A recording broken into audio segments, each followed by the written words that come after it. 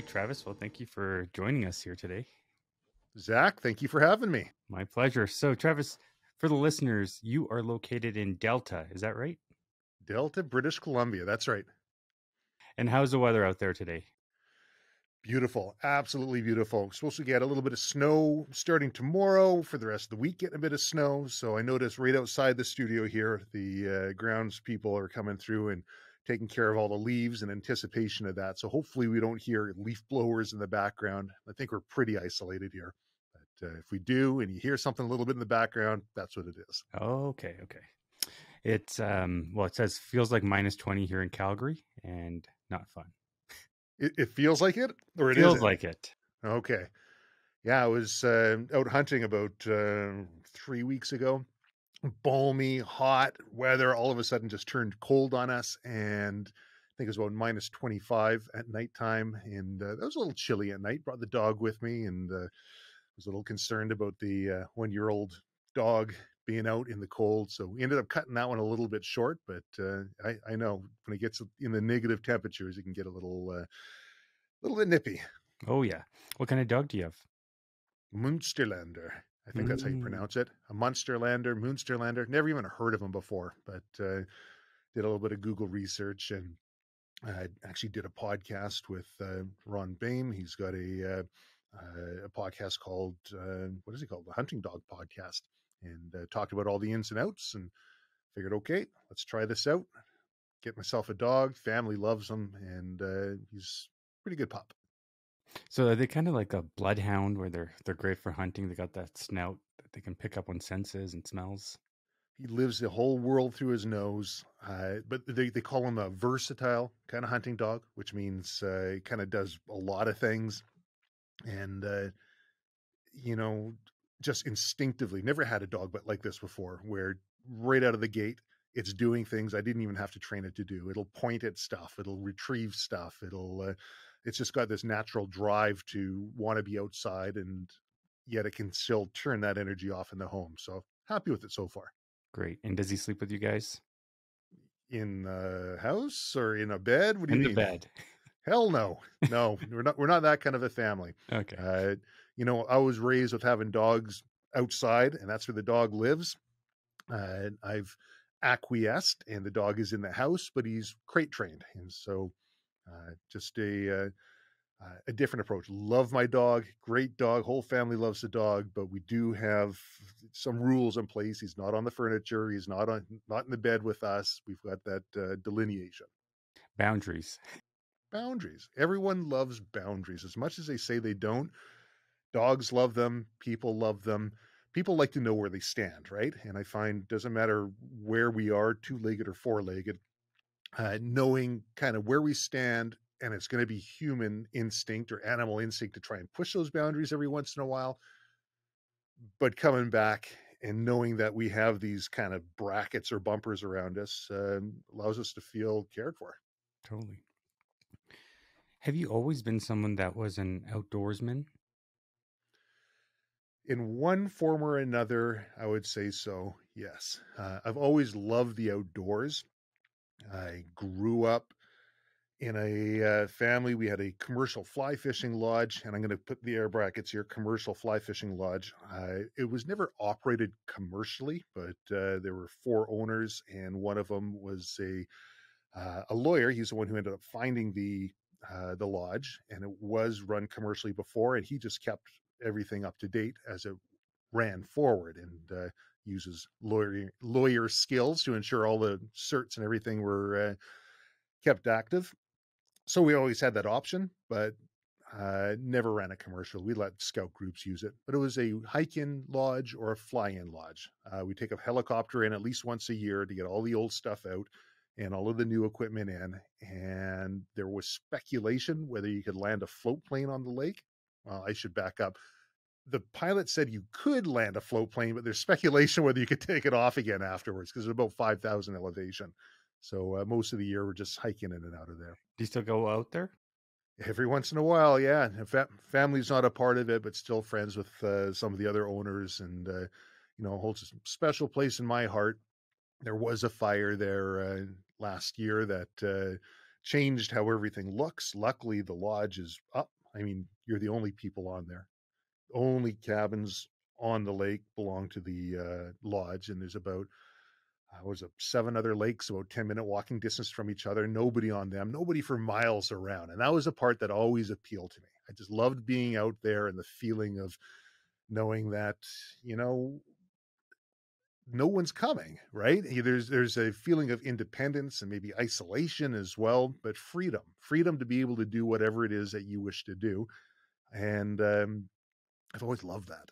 You know it's either you love the city and or you love the nature and the outdoors it's but you have a balance of both i find. You know you you, you love tech you like aesthetics media marketing entrepreneurship yet there's this other side of you which is so cool this outdoorsman.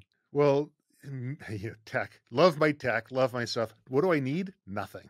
What do i kind of want? Well i love playing with all these different things right? I've got a podcast a silvercore podcast and started that a few years ago and uh, just to be able to share my passion for the outdoors but really it, it started around uh, finding other people who enjoyed the similar sort of pursuits that i do and to be able to help them share their passion.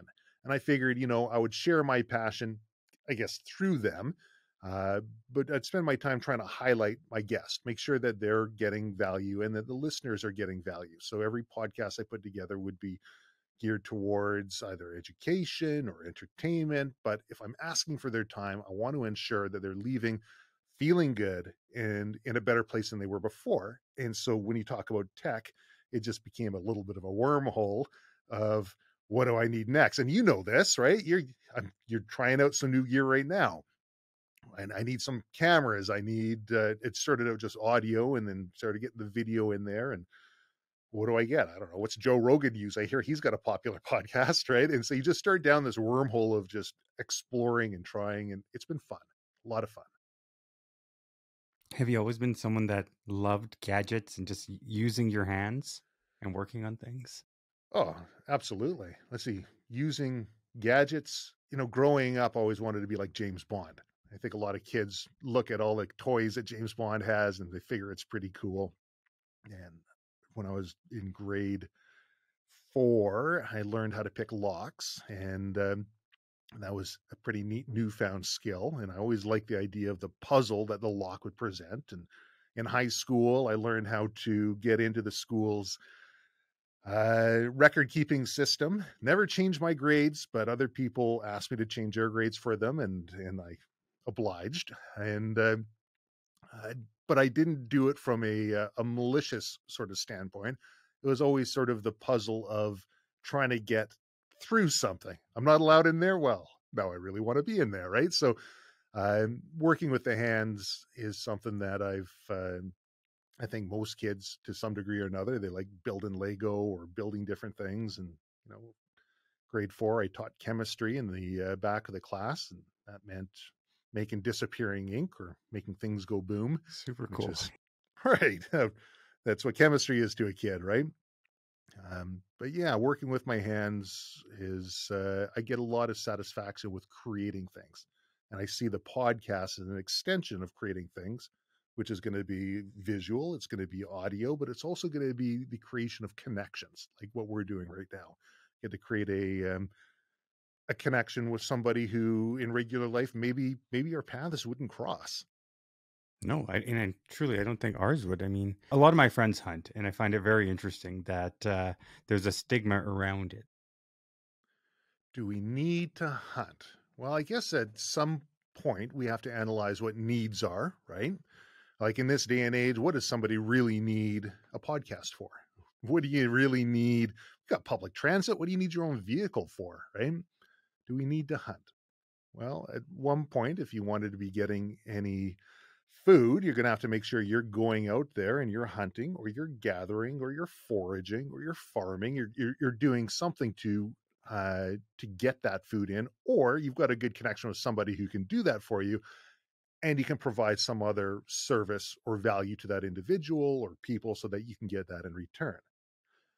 Some people say, yeah, absolutely, we need to hunt. And I think from a soul standpoint, there is a connection with your natural environment that you can achieve through hunting or fishing or foraging that's very difficult to achieve through any other means. If we co opt that responsibility onto a third party, if I have a butcher and an abattoir taking care of meat, if I'm going to eat meat, if I've got a farmer doing all of the farming for me and supplying me with my vegetables, I don't have that intimate connection with my food that I otherwise might have if I'm doing it for myself. And for me, that's the driving force. When people look at hunters, they will get an image in their head, especially if they're not a hunter themselves. And that image usually is going to be something to do with camouflage, maybe, or like Elmer Fudd or firearm. And there's certain things that kind of stand out in somebody's head when they hear hunter. Just like if you hear like police officer, you're going to think, okay, badge, uh, gun, um, red and blue, like certain things kind of stick out. But a police officer is way more than just a badge or a gun, just as a hunter is way more than the camouflage and the firearm. But that's tends to be what grabs people's attention. Uh, for me, the act of hunting is a connection with the environment and a connection with myself. And I just don't find that really any other place unless I get into the outdoors and I really intimately start connecting with my environment. It's um, it, it's good for the soul. Do you think you learned hunting through somebody or was it just you fell in love with it because it's nurtured throughout your environment throughout your life? I've i don't know if it's the whole nurture and nature sort of the nature about nature yeah nurture and nature conversation about that. I mean i could look at uh, my siblings who i grew up with who don't share that same connection in the way that i do so that might uh, that might contradict the nurture argument. But the hunting portion of it is something I got into actually later in life. The outdoors part is something I've always been around, and the fishing, you know, I've, I'd enjoy fishing. I wasn't a fishing fanatic, and there's so many more people who are way better at fishing than I am and know so much more about it. But for me, it was just the process of being outside, um, having a little bit of time alone with my thoughts uh, to work things through. Even at a young age, people have things that they work through. That's the part that really drew me to it. The hunting part is I got into later because I never I never had that access. My father hunted, but he never took me.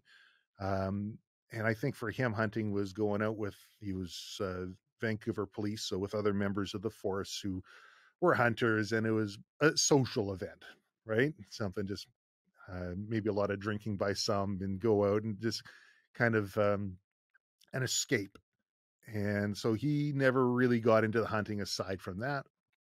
And uh, I wanted to learn more about the natural environment and I saw hunting as a means to be able to do it. Like what's what's growing out of the ground and why does the grass look like it's been trampled on? What animal would do that? Uh, what's been nibbled at what animal would do that how do i find that animal right that's i have a yeah. friend um, he owns a restaurant here in calgary called rouge and his name is chef paul rogalski rogalski yeah i know him he's a great guy he and is a great guy how do you know paul I know him through Rouge. I used to do some marketing. No, he's great, and I think he does something with foraging and.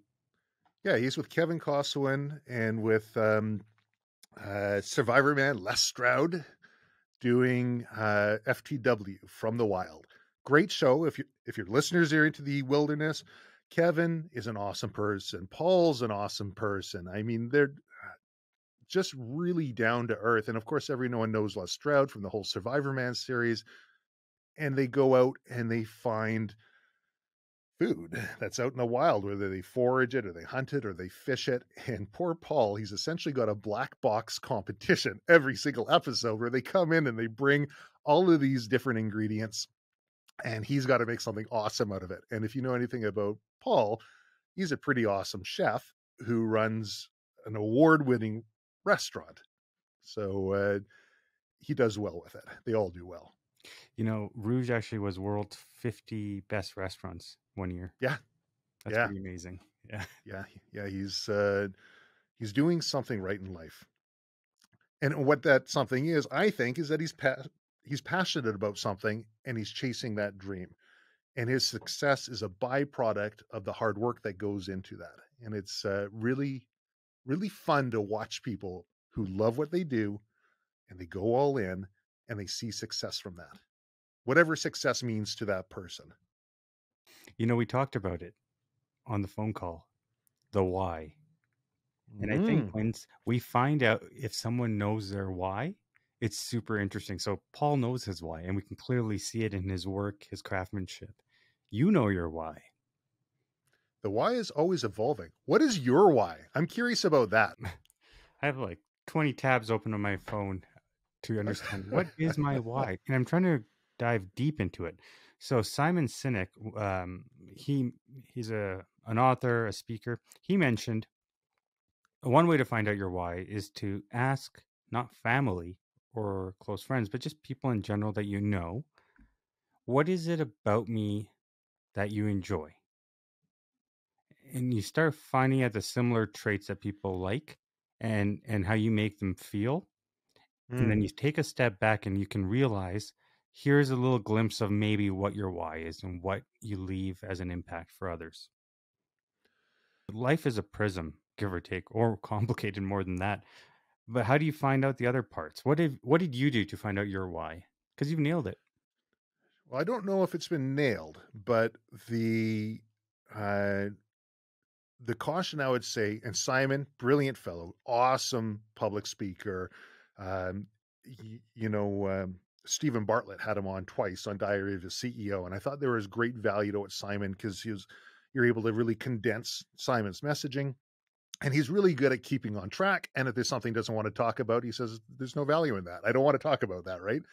Um, but if you're asking those around you what it is that they like about you, I would caution a person to be very, um, you know, that that saying, "Show me your friends, I'll show you who you are." Maybe the people that you're asking who are parroting something back aren't the people that you really want to be having uh, that feedback from, or maybe it's going to give you a um, sort of a, a jaded perspective. I I might be more inclined to ask, right, and maybe what they come back with is something that you find in yourself that you don't really like and that's not what you want to be. So maybe it helps you identify what you are not and i think if you're looking at what your why is identifying what is not your why might be the easier approach. So somebody comes back and they say zak i really love hanging around with you because every time we get together you pick up the tab and um, you got a fancy car and uh, i like coming to your cabin and right these are just people that are hanging around you and using you. Do you want to continue that sort of a relationship that might be a good eye opener for you right? Um getting to my why i think it's an ever evolving thing. But you have to really break down what it is that is most important to you. And uh, earl nightingale he talks about success right? And what is the meaning of success? And he condenses it down into success is the progressive realization of a worthy ideal. Okay, that that sounds good. So that would be the school teacher that loves teaching school, that is progressing every day to become better at being a school teacher, and they're making an impact on the lives around them. Okay, that's a CEO who wants to make a bunch of money, and that's their worthy ideal. As long as they're progressively working towards that worthy ideal for them, that's success. So for me, I've identified that my family, my wife and my kids are extremely important to me. And I want to ensure that whatever I'm doing is helping them develop into a more positive person in a more positive way and providing them with more opportunity and positivity within their life. Uh, I recognize in myself that I enjoy creating things, whether that be creating a business, and I've created a few, creating uh, doing woodworking or metalworking or uh, electronics or Starting know- the podcast. Starting the podcast, right? That creation process for me fuels me and I love it. Um, so if I can continually learn to be a better person for myself in a way that allows me to create and allows me to experience the things that I enjoy, like being outdoors and uh, connecting with nature. And that process also aligns with the betterment of those around me and those that I hold dear, because that's a very important piece of the puzzle. And I think many people in the personal development process forget the value to other section of it. I got to work on me. I got to be better. I got to make sure I can take care of myself first before I can take care of others or whatever people look at. And sometimes they just have to stop and regroup and say, what value am I bringing to Zak right now? If I'm on his podcast, is it me just blowing off hot air? Am I just talking at them? Or am I trying to connect and provide information that'll be useful to you and the people that are listening? And I find the second that I look at that, I look at how I can connect with you on a deeper level and how hopefully what I'm saying maybe might impact somebody to do something to make their life better or validate whatever it is that they're doing in their life. That feels good to me. And that personal section of growth uh, goes towards my why. Yeah, you know, I definitely think us talking about the why, uh, the audience can also realize, well, you know, do I know my why? And our whys will change throughout the years. You know, my why four years ago is different than it is today. Talking to people that have gone through darkness to find light and uh, to realize that, you know, I wasn't alone in a lot of things that I thought I was, that failures, um, ups, downs, mental health, mindset, we all go through it. I thought I was quote unquote fucked up. You probably are, hmm but we all are in the same way. That's the thing. I used to put people on pedestals. Lux e tenebris. That's a Latin saying from darkness, light, or light from darkness. Uh, being able to find that light and be able to get there can be difficult when all those lights are off, right? But if you can see your next step, or if you've got somebody else who's walked that path before that can help guide you, it's, as simple as saying, okay, move your left foot forward a couple inches. Okay, now you, next step's going to be right foot. I mean, that's an analogy, but we learn from watching other people.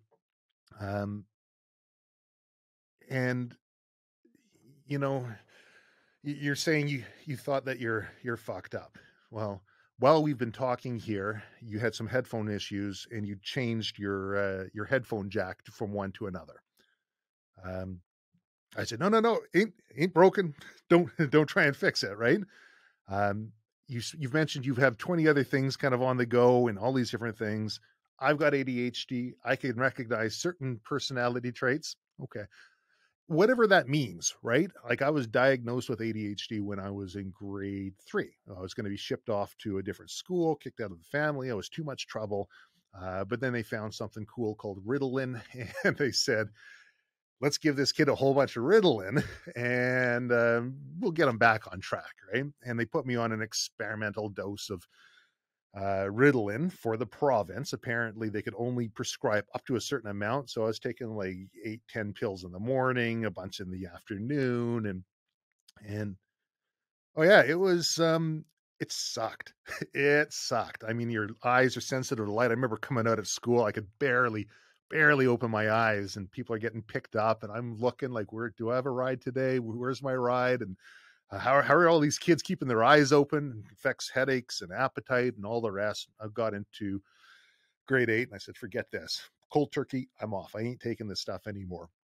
And uh, but anyways, a bit of a sidetrack. Maybe that's an ADHD thing, but uh, I can recognize certain traits in others when they have similar type of of um, personality traits. So uh, may, maybe when you look at yourself and say, "Well, I fe- felt I was screwed up," okay, um, probably to one degree or another, depending on how you look at it. Or maybe you're absolutely normal, like everybody else.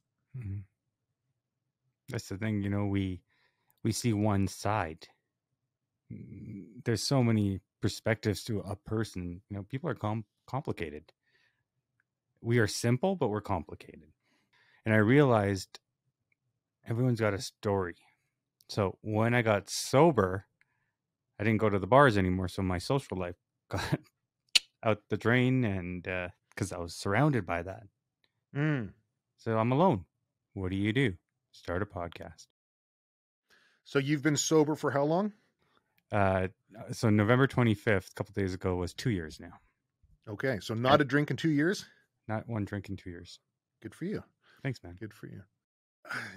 More and more studies are coming out that just there, there really is no positives to alcohol consumption from a cognitive standpoint, from a physiological standpoint. And I get it. There's that whole social aspect, but you end up paying for it afterwards. Uh, I found that uh, moderation is a massive point in whatever it might be, whatever that uh, that thing that's got you, whether that's social media, because people are addicted to their phones. They're always on there, flipping through that dopamine hit, or alcohol, or drugs, or food, or whatever it might be, on your path to being happy, which is an interesting kind of, excuse me, an interesting path to to look at because it's counterintuitive. Trying to be happy will backfire. It doesn't work. Um, regulating your sleep, moderating substances, getting exercise, and having some sort of whatever that worthy ideal is for you that you can work towards gives you a pretty clear path towards being happy. If you, and I don't know if you've been finding this, like you've moderated your substances. Mm-hmm. I don't know what your sleep is like. Hopefully it's good. It is. Um, good. Sleep is better. Um, peace. Seriously. Feeling peaceful? I feel at peace. And, um, you know, whether the external world is rocky, which oftentimes it is, or maybe it's always been like that, and I was running away from it, but mm. I can face a lot of things now, and uh, it doesn't rattle me. Interesting. And you're. I used to get nervous, something. and I used to, you know, good days, bad days. I was always running. Running for exercise or running away from things? Running away from things. Yeah. And so you've moderated substances and you get probably get some exercise. You look like a fit individual. And uh, what you're working towards right now with your podcast, is this bringing you, is it bringing you joy? Yes. Awesome. And you're, all you're trying to do is connect with others and share that connection and share that happiness with your listeners. Well, happiness, but I think also, you know, what we just chatted on the why. If you question me on it, how many others must be wondering or haven't even had that brought up to them? What is your why? Are you glad that I brought it up? Very much so. Thank you. Okay. So, and that why will evolve and it'll change. And at one point in your life, it'll start to become a bit of a North Star until it no longer holds that shine for you. Um, if you find a shiny enough why, a lot of people do, it'll hold their attention and it'll hold them for the rest of their life. Life goes through changes. Sometimes people's whys are I want to graduate high school, I want to get my driver's license, I want to what whatever that is, and or I want to and those are short term and those are kind of like wants.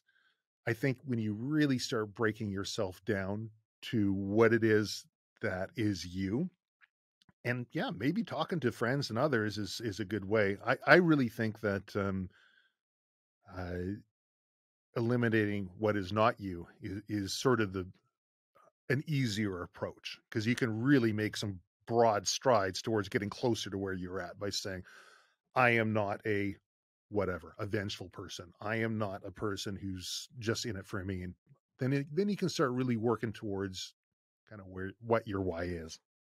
So we hear that a lot. Okay.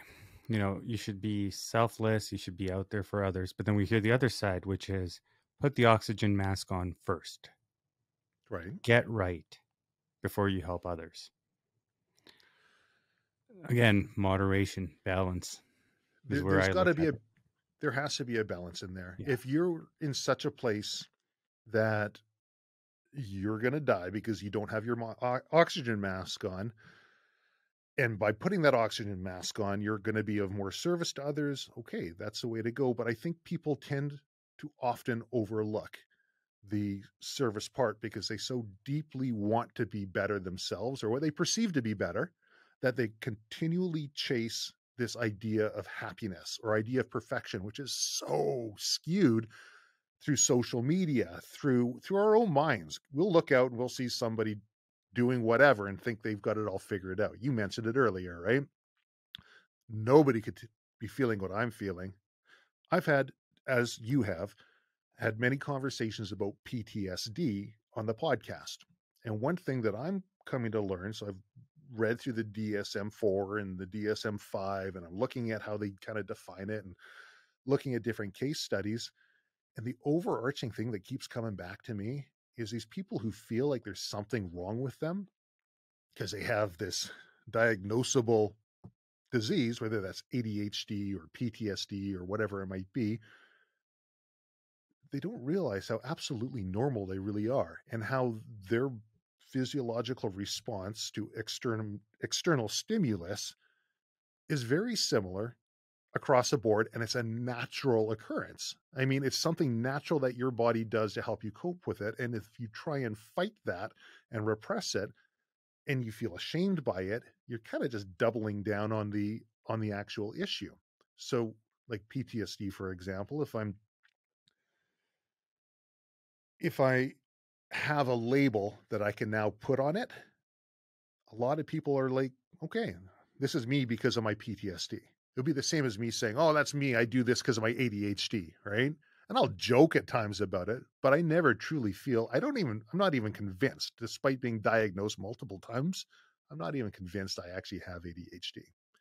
Um, because I don't want to wear that label. Because the second that you're wearing it, it's it and it's something you can't take off it's a part of you and it and it's a barrier barrier to your own growth Similar to the why. I when I did think about that, I thought, okay, if I figure out my why, am I putting myself in a box? Because you know, as entrepreneurs, what do you do? I do a lot of things, just like yourself, Travis. but the overall goal is the same impact. Whether that's personally or within your community. And community could be anything. You know, this podcast we're building is a community. That's it. But the why in a box scares the shit out of me. is being in a box bad Doesn't have to be. I think I I'm in a it- box in certain things. Not drinking. Okay. I'm in a box Sure. now. that's a good thing isn't it It's a great thing. I guess. right so maybe making sure that the box we're in is one that we feel comfortable in. And if i feel comfortable in it and i'm growing able to have some growth and that last piece of the puzzle which i think is essentially important being able to impact others around you in a positive way even if it's just a little bit. If my personal growth is negatively impacting those around me i'm doing something wrong. If my personal growth is doing nothing for the betterment of anybody else around me, I'm not going to have that same level of fulfillment. As well. So, what would cause you to stop podcasting? No. No, Travis. Going to keep rolling with it. I love it. Okay. It's helping me heal. It sounds weird, but it's like therapy. What if you're 100% healed? Would you stop? No, I'd slow down on maybe how often, which Okay. in December, I'm actually going to kind of reorganize, restructure, and come up with a better plan. Hmm. Plan for the podcast. Plan for the podcast and just in life. You know, you got to revisit things. What can I Mhm. do better in life? You know, Mhm. I do it on a daily, but now you got to plan, not because it's 2023, new year, new me. It's just going forward in life. you know that saying. Yeah, I hear you. And, and the reason I ask that is because, I mean, life will throw you curveballs. Things will change, right? Oh, yeah.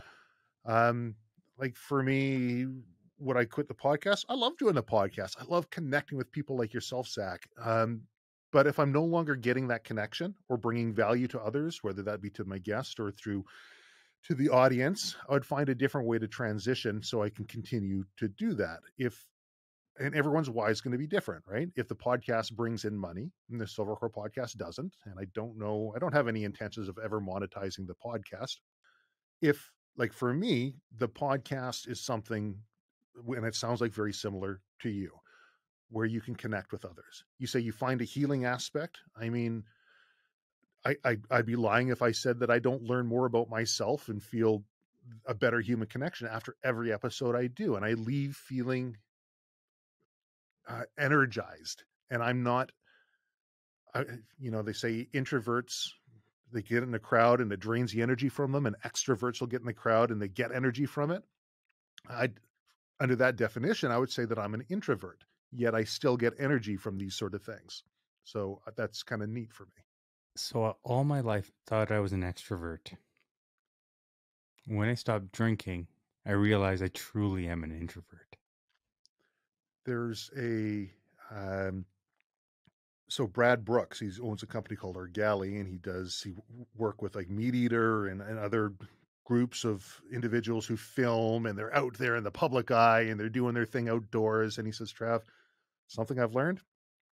Basically, all of us in the field are introverts. Everyone who's out there with these podcasts, with these videos, with these, we're introverts. Isn't that weird?